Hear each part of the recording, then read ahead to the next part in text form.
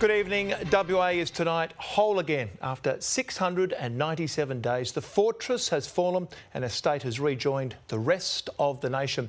There were tears of joy as loved ones reunited, grandparents meeting their grandchildren for the first time, and families finally back together. Almost 5,000 travellers today flooding in quarantine free. We have reporters at Perth Airport and across the city for this momentous day in WA's pandemic plight. Natalia Cooper begins our coverage. There isn't a more beautiful sight than this.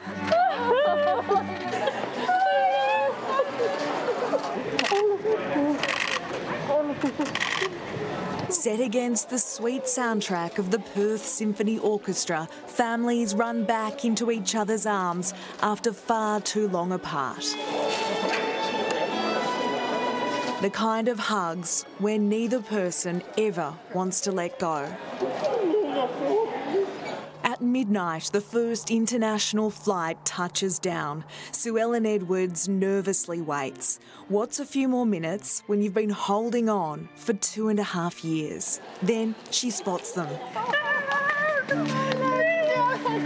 Embracing her daughter Georgie, who lives in Germany. Hello, darling. And meeting six month old grandson Felix for the very first time. Good boy.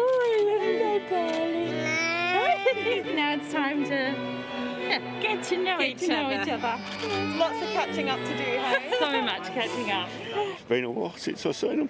2019 was the last time Stuart hugged his granddaughter from Thailand. This moment, overwhelming. Oh, His family and heart whole again. I'm glad I've finally got my daughter and granddaughter back. For most, it was tears of joy. We've got it for two months now.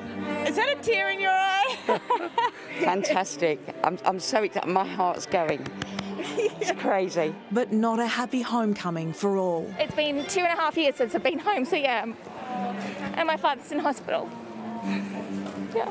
Emotions overflowing at the domestic terminal too. This woman almost speechless meeting her grandchild. oh, my God. Sorry. 6PR's Oliver Peterson isn't normally lost for words, but his parents are about to arrive and meet his son Henry, who was born with a congenital eye disease. How do you feel? Oh, speechless. I'm never lost for words, but let's tell you, this is unbelievable. And it's just so special. Are you ever going to let him go? Never. Let's never have this again, ever, ever again. Hopefully, hard borders are now a thing of the past. Seeing all of these reunions with the Qantas choir in the background, it's just so emotional and hard not to be incredibly moved. How are you? We better go. Okay, no, good. You're on camera. Perth Airport full of happy faces, but Margie Horan may have been the happiest of all. It's the best day of my life, and in a moment, oh my God. The moment she was waiting for. Seeing her two sisters from Adelaide for the first time in two years. We are ecstatic.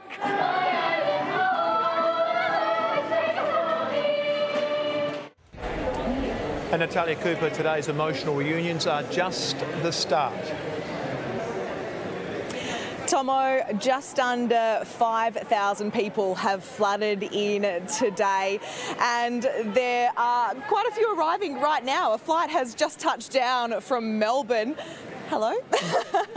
We're expecting around 23,000 people to arrive on Qantas and Jetstar flights over the next week. Look, it is just a fraction of the normal arrivals, but it is a very good start. These reunions are so emotional to watch. I don't think I'll ever tire of seeing them, Tomo. They are full of emotion. Everyone has their own story too. Natalia, thank you.